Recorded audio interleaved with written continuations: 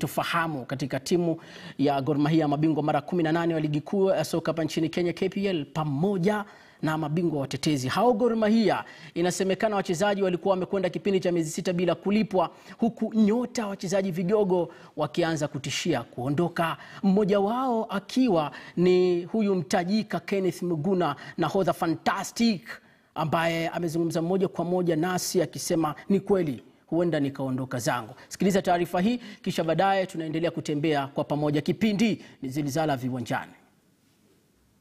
Baada ya miezi kadhaa ya uvumi uliosambaa hapa na pale, hatimaye nahodha wa Gor Mahia Kenneth Muguna amethibitisha kwamba hataongeza mkataba wake na mabingwa hao watetezi iwapo hawatampa mkataba ulioshiba. Sasa ni rasmi, kiungo huyo wakati mwenye umri wa miaka 24 ameithibitishia KTN News ya kwamba ashapeana barua rasmi ya ombi la kuiaga Gor Mahia kabla msimu ujao kuanza. Huenda nikahamia klabu ya Gor Mahia, bali si kwa sababu ya, ya pesa, ila ni sababu ya mazungumzo yangu na, na klabu kwa mkataba wangu ambao ninao na klabu, na huenda mambo yatakuwa vizuri, then nita, nitaendelea kuchezea Gor Mahia hadi mwaka ujao, na iwapo watakubaliana katika hayo mazungumzo, then nitachezea klabu nyingine mwaka ujao. Mwaka wa 2015 Muguna alijiunga na klabu ya Palos FC akainyanyua hatua ya 16 bora kwenye kombe la ngao ya GoTV pamoja na kumaliza nafasi ya pili katika ligi ya daraja la kwanza. Ikawa mwanzo wa safari yake. Alisajiliwa na Western Stima mwaka 2016 na hapo alidhihirisha kwamba yeye habahatishi, kwani msimu huo aliteuliwa kuwa mchezaji bora wa kiungo katika ligi kuu nchini ya KPL. Nikipokea tuzo la mchezaji bora nchini nikiwa na Western Stima mwaka wa elfu mbili na kumi na sita. Ilikuwa ni wakati muhimu sana kwangu kama mchezaji, na nilikuwa na furaha sana kwa vile ilikuwa mwaka wangu wa kwanza katika ligi kuu nchini, na ulikuwa ulikuwa unaonyesha safari yangu ambayo nilikuwa nimekuwa nao katika maisha hadi hiyo siku ambayo nilikuwa nikiipokea niki tuzo. So ni kitu ambacho nitaishi nayo milele na nitafurahia kwa miaka zote ambapo nitakuwa Mungu atanijalia kuishi nchini. Alinyakuliwa ghafla na FK Tibania nchini Albania kabla ya Gor Mahia kumsajili na kumpa wadhifa wa unahodha. Ametumikia Gor kwa hali na mali ikiwemo kushinda ligi kuu ya KPL mara mbili mtawalia. Licha ya mafanikio hayo ndani ya uwanja, nje mambo yalikuwa magumu.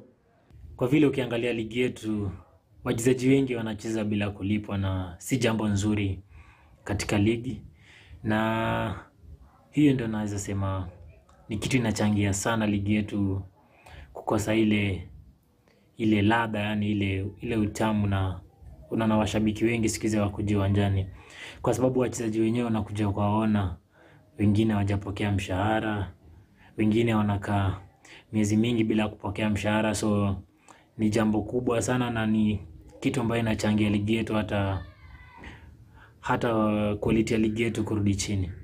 Kigogo huyu amehusishwa na fununu za kusakwa na vilabu kadhaa kama vile DC Motema Pembe ya congo pamoja na sasa Nkana FC ya Zambia wanapochezea wachezaji wenzake wa zamani wa gormahia kama Musa Mohamed na Harun Shakava. Ijapokuwa mkufunzi Steven Polak wa gormahia amesisitiza hawajapokea dau kutoka kwa yeyote yule. You don't want to lose. You don't want to lose your best players, you know, and uh, your good players, and they're two important players, like all the other players that we have, you know. Um, but it says a good thing for Gor Mahia that every year that somebody always wants their players. But um, as a club, you, you want to try and keep your, your best players that you have, because we want to go well in, in, as far as we can in the CAF Championship. Kwa sasa bado ni msafiri bandarini aliyejawa na tumaini. Ndoto yake bila kupindua meza ni kuwa mchezaji bora wa kabumbu barani Afrika. Anaposubiri timu itakayokuwa tayari kuvunja benki kwa ajili ya kupata saini yake, katikati ya wakati huu wa kimbunga na mahangaiko ya Gor, anasisitiza kwamba mama yake amekuwa mshauri wake mkuu na hamasisho kwake. Best gift ni kiatu yangu ya kwanza ya kucheza mpira.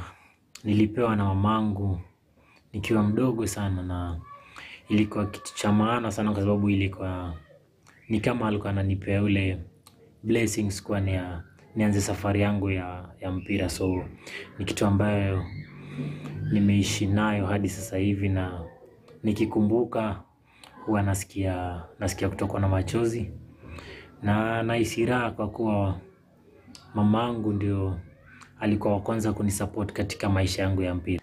Muguna sio mchezaji pekee aliyemwaga mtama hadharani huko Gor Mahia. Naibu nahodha wake Joash Onyango maarufu ukuta wa Berlin pia naye yuko njiani kuitoroka Gor, ila ametuficha kuelezea anapoguria. Mtandao oh, mara Simba wanawinda mchezaji wa Gor Mahia, lakini mimi kusema ukweli, mi pia contract yangu kandarasi inaisha mwezi wa kumi na mbili, so pia naweza taka challenge nyingine pia goro wenyewe wajeniongelesha kama pia naweza endeleza ama niongeze mkataba na so mi timu yoyote ikikuja kwa saizi naweza agree kwenda huko, lakini ya Simba bado hiyo haijajulikana sana, ama sijaongea na mtu yoyote kutoka Simba.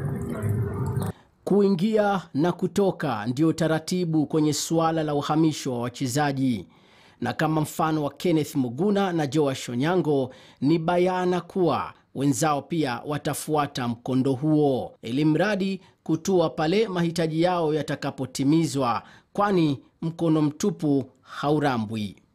Ahmed Bahaj, KTN Michezo. Naam, na lisemwalo lipo, hata kama halipo sasa, liko njiani. Jungu hili linalotokota pale Gor Mahia, masaibu, fedha, wachezaji hivi sasa wamefikwa kooni.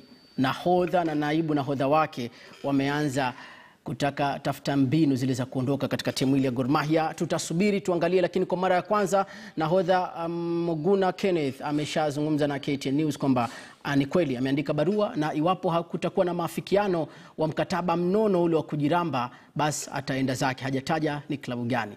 Tegea tegea, tutapata kufahamu mpaka mwisho wake, na kwa hivi sasa